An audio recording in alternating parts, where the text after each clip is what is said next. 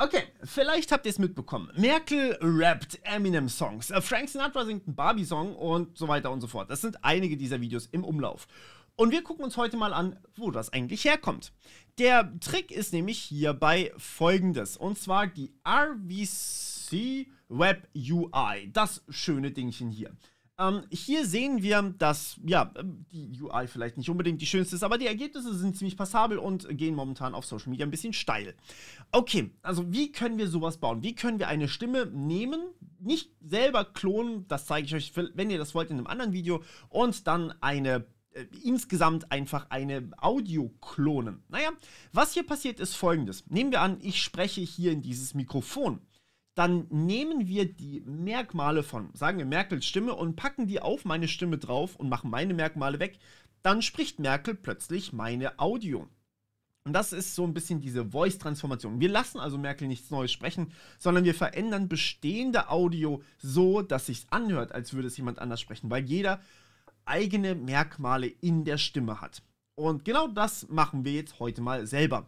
Ähm, wir haben hier mehrere Möglichkeiten, wie wir das angehen wollen. Ich werde euch heute zeigen, wie man es mit Python macht, mit Pip macht und nicht mit Docker. Das geht aber auch. Könnt ihr dann selber gucken. Und wie wir nicht selber eine Stimme klonen, sondern eine von über 100 Stimmen, wie auch zum Beispiel, I don't know, Tupac oder, äh, na, ihr, ihr könnt selber lesen. Ähm, sind ein Haufen Stimmen dabei, die wir hier bekommen, einfach so for free, die schon jemand anders für uns gemacht hat und die hier einfach gesammelt werden und die wir dann im Endeffekt benutzen können. Okay, also zunächst einmal diese Web UI. Wir müssen ja hier irgendwie hinkommen und das Ganze uns mal angucken können. Also, gehen wir hierher. Das ist das erstmal Basisprojekt, das wir brauchen. Nicht wundern, viele Sachen hier sind auf Chinesisch, weil das von einem chinesischen Maintainer ist. Ähm, wir gehen hier auf Code Download Zip und haben plötzlich hier eine ZIP-Datei, die wir in einen Ordner unserer Wahl speichern. So, ich habe die jetzt mal hier reingespeichert. Nicht wundern, das ist das Projekt, zu dem wir nachher wechseln werden, weil ich da schon die Sachen runtergeladen habe, die wir brauchen. Wir machen jetzt aber mal ein eigenes Projekt auf und zwar entpacken nach dem Ordner hier, dann landet das leider hier drin. Ähm, ich nenne das mal eben um und zwar in Bindestrich tuts. So, okay. Einmal zurück und dann wieder hier rein. Und jetzt haben wir einen eigenen Ordner. So, das ist im Endeffekt jetzt einfach nur jede Datei, die hier zu sehen war. Das ist einfach nur heruntergeladen. Mehr ist das nicht. So, was wir jetzt bekommen, ist eigentlich erstmal, naja, ein fehlerhaftes Repository. Wir können hier eigentlich nichts wirklich verwenden. Das Problem hierbei ist, dass diese ganzen großen Dateien, also auch vortrainierte neuronale Netze, einfach nicht dabei sind. Wir brauchen eine Art Basis-neuronales Netz, damit wir von A nach B konvertieren können. Das ist Hubert Base. Aber Hubert Base ist hier nicht dabei. Hubert muss man extra runterladen. Und dazu gibt es den zweiten Link. Ähm, bei Hugging Face, ähm, das ist so, so ein kennt ihr wahrscheinlich. Hugging Face ist so ein Portal, wo man relativ große Dateien auch mit dem LFS hochladen kann. Es geht bei GitHub nicht ohne weiteres. Und äh, ja, wir können jetzt hier zum Beispiel den Hubert runterladen. Also einmal hier Hubert Base runterladen und hier drin speichern. Einfach im selben Ordner. Ihr seht hier, die Ordnerstruktur ist eigentlich dieselbe. Weights, UVR5 Weights, UVR5 Pack, Pre-Trained und so weiter und so fort. Das heißt, wir nehmen jetzt diese RVC Betas, überspringen wir und nehmen jede Datei, die hier dieses LFS dabei hat. Also FFmpeg, FFprobe, Hubert Base, äh, die mute.zip könnt ihr eigentlich ignorieren, könnt ihr aber auch mitmachen, ist nicht so dramatisch. rmvpe.pt brauchen wir ähm, und die beiden könnt ihr auch mit runterladen. Das funktioniert ganz gut. So, wenn wir die alle runtergeladen haben, dann haben wir eigentlich die Möglichkeit, grundsätzlich Stimmen von A nach B zu konvertieren. So, das heißt, hier drin könnten wir jetzt das Ganze schon mal machen. Das Problem ist, wir haben ja noch keine Stimme. Wir haben nur das Basisprojekt aktuell. Jetzt müssen wir aber noch hergehen und sagen, okay, so sehen die Feature-Merkmale von Merkel aus oder von Tupac oder von GLaDOS. GLaDOS gibt es auch. Ähm, und deswegen wollen wir das einmal kurz ähm, natürlich nicht selbst trainieren. Selbst trainieren würde ich ja auch gehen. Das kann man machen. Dauert aber, wie gesagt, ist ein bisschen komplizierter. Zeige ich euch gerne wann anders, falls ihr das wollt, unten in die Kommentare damit. Aber wir können hier ganz einfach auch hergehen und uns Music AI Voices runterladen. Und ja, es gibt noch mehr als RVC. Es gibt auch noch ähm, SVC, heißt das Ding, glaube ich. Da kann man dann natürlich auch andere Stimmen noch reinladen. Ähm, und das soll auch wohl ungefähr eine bessere oder manchmal eine bessere Qualität haben. Probiert das gerne aus. Falls ihr auch dazu ein Video wollt, schaue ich mir das auch gerne für euch an. So, wenn wir jetzt hier aber was runterladen, so eine Stimme, ähm, dann wollen wir hier nicht die, die kein RV10 dran haben. Also diese hier ist in Ordnung, da steht RV10 dran, die ist in Ordnung, RV10 dran, die ist nicht in Ordnung, die ist auch nicht in Ordnung, die ist wieder in Ordnung, weil hier in Klammern RVC steht und so weiter und so fort. Die ist nicht in Ordnung, die ist nicht in Ordnung, die ist super, die ist auch super, ja. Das so als, als grundlegende Richtlinie. Bitte nehmt nur die RVC-Stimmen, die anderen werden nicht richtig erkannt werden. Okay, jetzt, also sie können erkannt werden, aber es gibt keine Garantie dafür. Ähm, und wenn es einen Fehler gibt, dann kann das gut daran liegen. Okay, jetzt haben wir das schon mal soweit fertig gemacht. Jetzt können wir eine von diesen Stimmen hier runterladen, zum Beispiel eben ähm, 50 Cent. So, einmal hierher gehen und dann sehen wir hier, aha, das ist auch wieder eine ZIP-Datei. Hier einmal hergehen und Achtung, diesmal ist es nicht dieser Ordner, in den wir rein wollen, sondern die Stimmen, also die vortrainierten Stimmen, die kommen in den Weights-Ordner. Ja, hier rein. So, und äh, das sollte relativ schnell da sein, weil die ist nur 50 Megabyte groß. Ähm, dann gehen wir hier einmal her, gehen in den Ordner rein und machen hier einmal Rechtsklick, hier entpacken. So, jetzt könnt ihr die ZIP-Datei wieder löschen. Was jetzt passiert ist, ihr habt hier einen 50-Cent-Ordner mit einer .pth innen drin. Ähm, oder wenn ich jetzt einmal ganz kurz in meinen anderen Ordner wechsle und hier mal in die Weights reingehe, dann haben wir hier einmal GLaDOS und einmal Homer Simpson ähm, jeweils die Stimmen eben von GLaDOS und von Homer Simpson, aber mit einer .pth-Datei und einer .index-Datei und einer, äh, einer total4.npy-Datei. So, wichtig ist, diese Unterordner funktionieren nicht. Der hier ist ja normalerweise komplett leer. Das heißt, äh, ich lösche das einfach mal. So sieht es ja normalerweise aus, wenn ihr euch zum Beispiel zwei Stimmen runtergeladen habt. Die funktionieren so nicht die werden nicht erkannt von dem Projekt. Ihr müsst die Stimme, die ihr haben wollt, kopieren, also am besten alle Dateien kopieren und hier außen dran packen. Oder wenn ihr eben Homer Simpson wollt, diese Stimmen hier kopieren und außen dran packen. Ja, sonst werden die nicht erkannt. Das kann ich euch garantieren. Hat bei mir noch nie funktioniert. Vielleicht ist auch ein Bug, vielleicht wird das auch bald gefixt werden, aber aktuell werden die noch nicht erkannt. Das heißt, jetzt habe ich gerade die Stimme von Homer Simpson nach außen kopiert und kann sie verwenden. Das sehen wir hier an diesem Homer Simpson.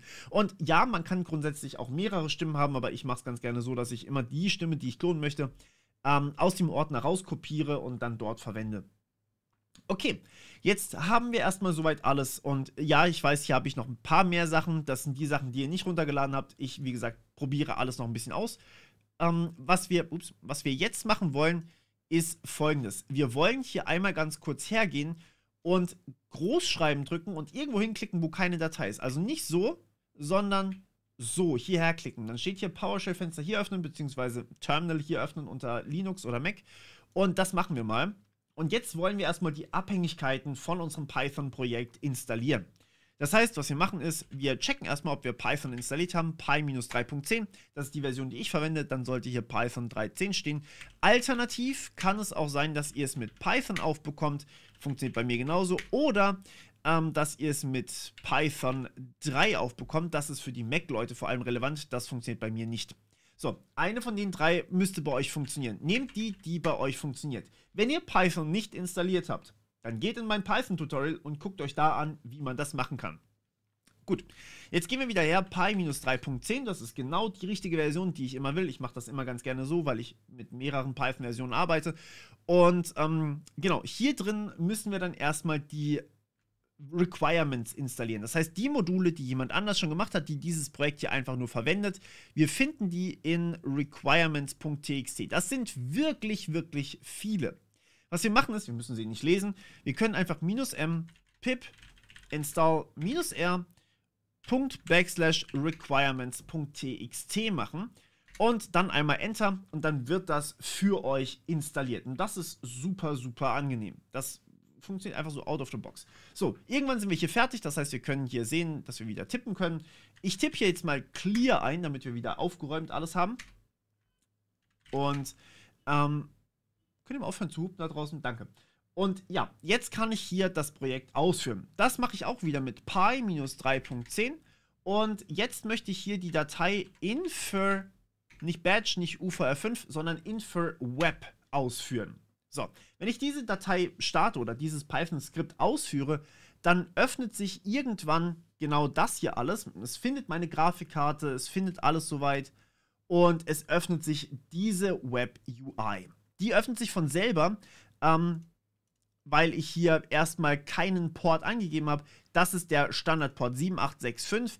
Ähm, und wenn ihr irgendwann mal was braucht, localhost Doppelpunkt 7865 öffnen, also einfach hier oben in die Adressleiste schreiben, dann funktioniert das auch schon. So, jetzt diese furchtbare, ähm, diese furchtbare UI hier, das muss erstmal hier kurz refreshed werden. Bei der Inferencing Voice sind, sehen wir jetzt hier den Homer Simpson. Das ist ja genau den, den ich haben wollte. Herzlichen Glückwunsch, das ist der, den wir brauchen. Der soll jetzt bitte was für uns singen. So, Jetzt sehen wir hier allerdings, ich brauche eigentlich noch die Indexdatei. Wir erinnern uns, diese Indexdatei hier, die muss auch mit rein, sonst funktioniert das Ganze nicht. Und das Problem ist, bei mir wird die nie erkannt. Ich weiß nicht, ob ich was falsch gemacht habe, aber ähm, man kann sie auch von Hand angeben und so mache ich das einfach immer. Das heißt, was wir machen ist, wir kopieren uns erst hier oben den kompletten Pfad, pasten den hier rein, sagen dann Backslash, gehen dann zurück hierher, machen hier nochmal auf, drücken Steuerung C für, äh, Quatsch, nicht die, die hier, markieren alles, drücken Steuerung C und gehen hier rein und sagen, okay, das ist meine Indexdatei. Dann ist völlig egal, dass es das nicht automatisch erkannt hat. Und jetzt funktioniert das auch. So, und wenn wir hier, ah, Sekunde, ich habe hier zweimal das ganze Ding offen. So, jetzt nur noch einmal offen. Wenn wir hier irgendwie merken, irgendwas lädt hier sehr, sehr lange, wie das hier zum Beispiel gerade, das hat die ganze Zeit geladen, einmal hier kurz her und Enter drücken, dann macht es das weiter und dann funktioniert das auch wieder. Also nicht verzagen. Ähm, so, wenn wir jetzt grundsätzlich männlichen weiblich konvertieren wollen, müssen wir plus 12 machen. Ähm, also wenn quasi wir einen männlichen äh, Sänger haben und einen weiblichen Sänger haben wollen, also sprich das hier oben von der Frau ist, dann sollten wir hier ähm, plus 12 machen. Wenn es andersrum ist, dann minus 12. Ähm, weil dann wird der Pitch so ein bisschen angepasst. Brauchen wir aber nicht unbedingt. Das funktioniert so genauso. Okay. Und was wir jetzt machen wollen, ist, wir wollen natürlich eine Audio übersetzen. Also quasi ja, verändern. Das heißt, wir brauchen schon eine gesungene oder gesprochene Audio. Wichtig hierbei ist, wir dürfen keine Hintergrundgeräusche haben. Das heißt, wenn wir jetzt zum Beispiel Eminem rappen lassen wollen oder Merkel Eminem rappen lassen wollen, dann müssen wir zunächst einmal von dem Eminem-Song die Lyrics, also das, was er singt, die Vocals, extrahieren und separieren von den Hintergrundgeräuschen. Und dann danach wieder zusammenmischen. Und das können wir auch machen, zeige ich euch sofort. Wir machen jetzt hier erstmal fertig. Und zwar, ich habe hier schon mal was vorbereitet. Ähm, wir haben hier eine Audio und ihr kennt vielleicht Portal Still Alive. Hier habe ich einmal die, ähm, diese, äh, also einfach das Lied als MP3-Datei. Jetzt wollen wir da ja, also ich spiele das mal ganz kurz ab. Das funktioniert so nicht. Hm. So, vielleicht kennt ihr das. We do what we must because. So, ähm, das stammt aus Portal äh, und ist von GLaDOS quasi gesungen. Ich weiß nicht, wer es von euch schon, äh, euch schon kennt. Genau. Und was wir jetzt machen, ist, wir müssen hier natürlich die Hintergrundgeräusche, also sprich die Melodie und alles und auch Schlagzeug etc., müssen wir separieren von dem, was wir ähm, an Stimme haben, also quasi die Vocals. Das muss am Ende zweimal da sein. Einmal brauchen wir die Vocals, die werden dann übersetzt und einmal brauchen wir die Hintergrundgeräusche und die müssen wir ja wieder auf die neuen Vocals drauf machen. So, das machen wir so. Ähm, wir holen uns zunächst einmal den Ultimate Vocal Remover. Äh, und zwar als grafische Oberfläche. Grundsätzlich ist der Ultimate Vocal Remover auch hier drin und ihr könnt das machen, aber ihr müsstet erst die Models holen und so weiter und so fort. Und ich persönlich finde diese Variante hier einfach einfacher und ich versuche es für euch so einfach wie möglich zu gestalten. Ähm, und das hier ist wirklich einfach eine, eine Download-Datei. Da kriegt ihr eine Exe zum Ausführen ja, das könnt ihr einfach runterladen oder hier unten dann für äh, Mac oder für Linux. Ähm, kriegt ihr hier alles, was ihr braucht und dann könnt ihr das direkt einfach ausführen. Das ist wirklich einfach nur hier auf den Download-Link und dann der, den Installationsanweisungen folgen und dann habt ihr UVR. Ultimate Vocal Remover. Das sieht dann so aus. Als einfache, ganz normale Datei könnt ihr das öffnen. Könnt ihr hier ähm, eine Datei auswählen, zum Beispiel Still Alive. Oh, ups. Ah, ich sollte vielleicht den richtigen Button nehmen. Hier Select Input, Still Alive, Select Output. Dann nehmt ihr einen ganzen Ordner und könnt den hier wählen und dann habt ihr eigentlich schon alles, was ihr braucht. Ihr könnt MDXNet hier stehen lassen, müsst nicht verändern. Ihr könnt hier einfach das Standardding benutzen. Ihr könnt hier GPU einstellen und dann auf Start Processing. Und ähm, das dauert dann natürlich ein bisschen. Da läuft dann auch ein ähm, neuronales Netz drüber, um dann hier quasi die Audio Ui, jetzt lag ich ein bisschen, ne? um die Audio von den Vocals zu extrahieren. Dauert aber nicht lange, 12 Sekunden in meinem Fall jetzt gerade. Und was wir dann bekommen, ist folgendes. Wir haben zwei neue Audios. Einmal Vocals und einmal Instrumental. Ich zeige euch das mal. Even though you broke my heart and killed me. So, das ist die Vocals, also klar, nur die Stimme. Das ist eigentlich ziemlich gut geworden. Und dann haben wir hier einmal Instrumental. Das ist eben genau das ohne Stimme. Wie gesagt, wir brauchen beides. Wir verändern jetzt Vocals und legen danach Instrumental nochmal drüber. So, das heißt, das sieht dann so aus. Ähm, wir gehen hier wieder zurück in die RVC Web UI. So, was wollen wir jetzt ändern? Naja, welche Datei wollen wir denn jetzt übersetzen? Wir wollen ja die Audio hier, die Vocals, komplett neu machen. Und das heißt, ich packe das hier mal hier rein. Jetzt müssen wir natürlich noch den Ordner kopieren. Das heißt, einmal den Ordner hier nehmen, und zack, da rein. So, und jetzt haben wir hier einmal den kompletten Ordner, Audio und dann die komplette Vocals-Datei. Wir klicken hier unten auf Harvest. Ähm, PM ist schneller, aber Harvest hat bessere, ähm, bessere Qualität. Ähm, und Crap habe ich tatsächlich mittelmäßige Erfahrungen gemacht. RMVPE habe ich noch gar nicht richtig ausprobiert, ehrlich gesagt. Da könnt ihr aber einfach mal gucken, welche für euch die beste Option ist. Ich gehe hier mal zur Seite. So, ähm, also wir gehen hier auf Harvest. Ähm, und ja, dann können wir hier drüben eigentlich schon hergehen. So genau. Das hier bleibt einfach genau gleich. Ähm, also da mit den Werten könnt ihr einfach ein bisschen rumspielen. Hier diese ähm, Index-Datei haben wir schon gemacht. Auto-Index hat es nicht funktioniert. Das würde ich auch tatsächlich am Anfang mal so lassen. Das hier ist, ähm, könnt ihr einfach komplett ignorieren. Das brauchen wir nicht. Und jetzt klicken wir hier auf Convert. Und das dauert jetzt ein bisschen. Wir sehen auch den Fortschritt hier unten drin immer mal wieder. Oh, no File or Directory, das ist schlecht. Ähm, da müssen wir uns gleich nochmal wahrscheinlich drum kümmern. Es hat dennoch wunderbar funktioniert. Ähm, hier einmal kurz das Ergebnis. We can for the good of all of us, except the ones who I did. But there's no fun crying over. Okay, das, das war Homer Simpson, wie er Still Alive von Portal singt. Ach, das ist. Ist schon schön, ja. so, jetzt gehen wir hier einmal auf Herunterladen. So, und dann haben wir hier eine Datei, ähm, die sehr komisch he heißt. Äh, das ist eine temporäre Datei. Und hier oben haben wir natürlich noch das Instrumental. Was wir jetzt machen ist, wir gehen auf Audacity. Ähm, Audacity ist ein kostenloses Tool, könnt ihr einfach runterladen und das ist zum ne, Ton editieren und so weiter. Äh, das dauert ein bisschen, bis sich das geöffnet hat. Und jetzt können wir hier die beiden einfach übereinander legen, indem wir hier einfach beide nehmen. Audacity sollte sich vielleicht groß starten. So, Instrumental nehmen und die übereinander legen und los geht's. So, und dann haben wir im Endeffekt genau das, was wir wollen.